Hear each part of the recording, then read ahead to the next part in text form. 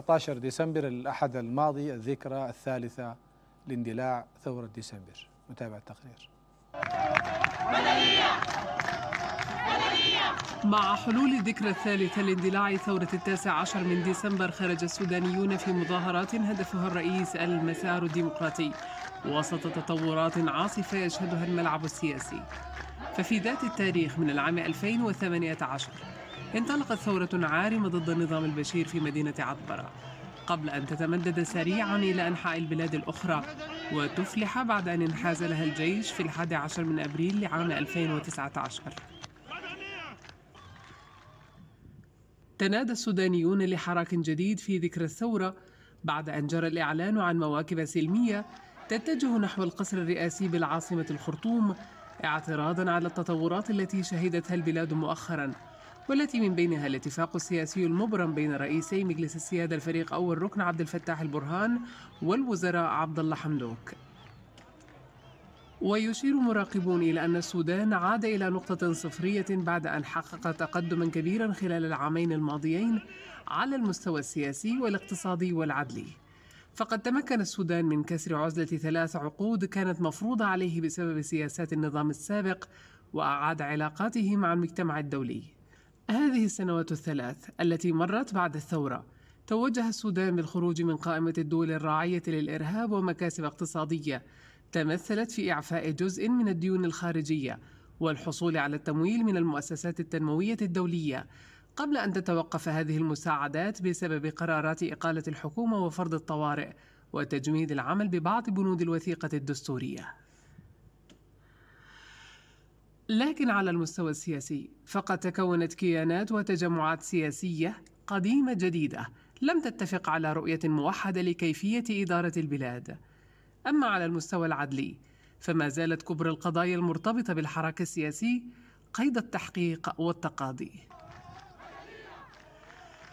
تحركات الجيش السوداني التي بررها بتدهور الأوضاع في البلاد نتيجة خلاف حادة بين القوى السياسية يعتقد البعض أنها أعادت البلاد لمربع الانتفاضة الأول بينما يعتبرها آخرون خطوة مهمة لتصحيح مسار الثورة وإكمال عملية الانتقال خاصة أنها أبقت على الوثيقة الدستورية. كل سنة والشعب السوداني بخير وإن شاء الله الذكرى القادمة يكون تحقق كثير لهذا الشعب. في متغيرات كثيرة حصلت في ثلاثة سنوات قوى سياسية موحدة انقسمت وقوى منقسمة.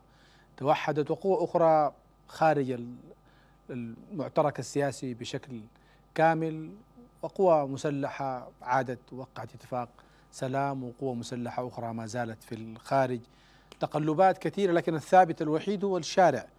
قدرة الشارع على تنظيم نفسه على مدار السنوات الثلاثة اللي فاتوا بدون ما يكون في جهة قادر إنها تفرض رأيها أو وصايتها على على هذا الشارع. الشارع هو الثابت الوحيد في كل المعادلة السودانية على مدار الثلاث سنوات الماضية والمتغيرات حوله مستمرة على مستوى القوى السياسية والمواقف الإقليمية ومواقف القوى الدولية. قدرة الشارع حتى الآن على فرض سيطرته وقدرته ورغبته في حدوث تغيير حقيقي على المسار الديمقراطي والانتقال المدني للسودان. ده الثابت في هذه الثورة على مدار الثلاث سنوات. مطلوب من القوى السياسية المنظمة لكل هذه العملية دور إيجابي في هذه المرحلة.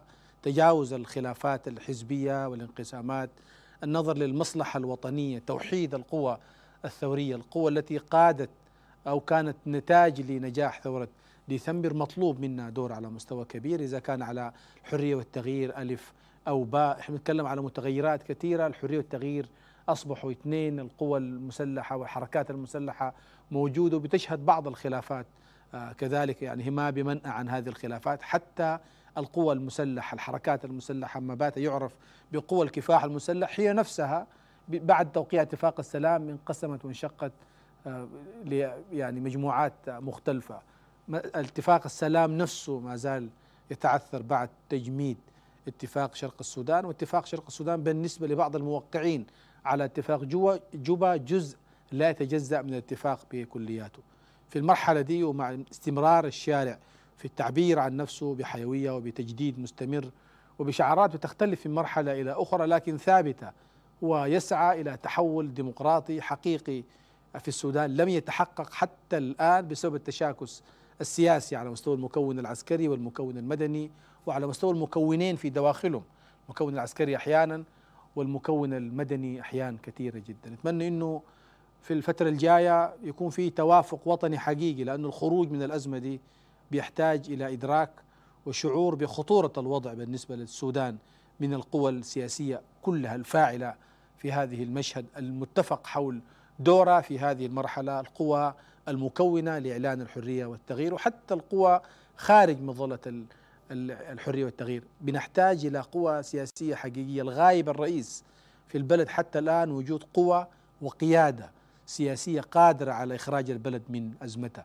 الأزمة في السودان الآن هي أزمة قيادة قيادة سياسية قادر إنها تساعد السودانيين. اللي بيطلعوا بالملايين باستمرار للتعبير عن وجودهم وعن رغبتهم في تحول ديمقراطي مدني حقيقي في هذا البلد.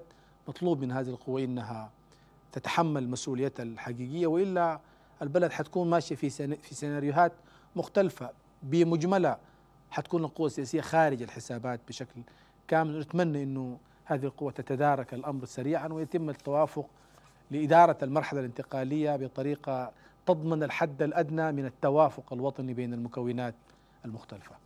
اشكركم على حسن المتابعة. يمكن دائما مراسلة البرنامج على رقم الواتساب أو على وسائل التواصل المختلفة يمكن التواصل المباشر عبر عمار شيلة على تويتر إنستغرام فيسبوك. السلام عليكم ورحمة الله.